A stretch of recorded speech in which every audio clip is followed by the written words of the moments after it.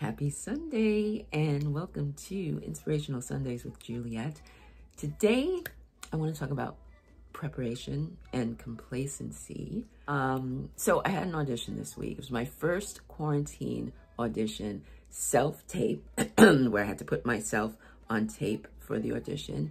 And I've done these many times. This was actually for a commercial. It was my first one for a commercial. But I've done these many times, but I haven't done it in my new apartment.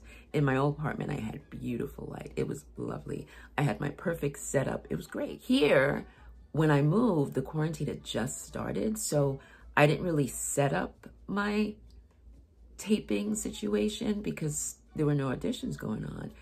And so, uh, so I had this audition and the actual audition part was fine. The lighting was great. But then when I had to do the slate, and the slate is where you say your name and you show your profiles, yeah, like that. You need a plain background for that, for sure. Right? And so here's my plain background, which is great.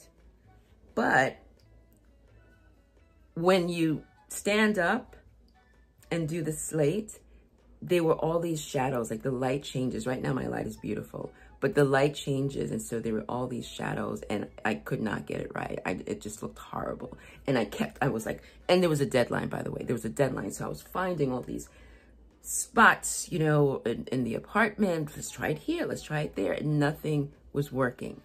So after I sent in all of my stuff, not really feeling good about what I sent in, I then just started getting all in my head. And then, you know, since I'm a crazy actress, crazy girl anyway, I just started talking gibberish to myself. Fazer umas gozadas, que vai chegar Sabes, cosas, hola, Marcela, que no son tan. Es sin que te fuese nadie, la comida a la lograna.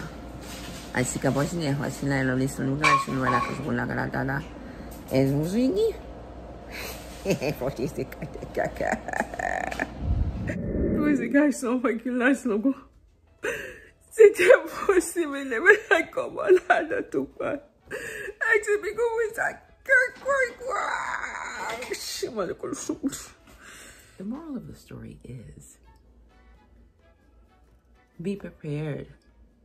Don't be complacent. I feel like I was complacent in that, oh, I don't have any auditions. I'll get to it later.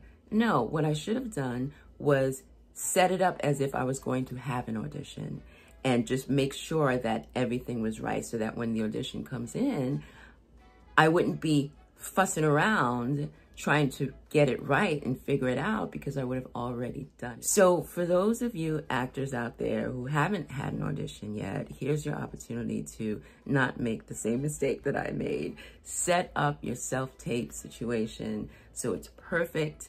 And I don't know, it's a little different feel for commercials. So, you know, test that out as well. For all you actors out there, I hope you get auditions this week and I hope you book them. Have a great week.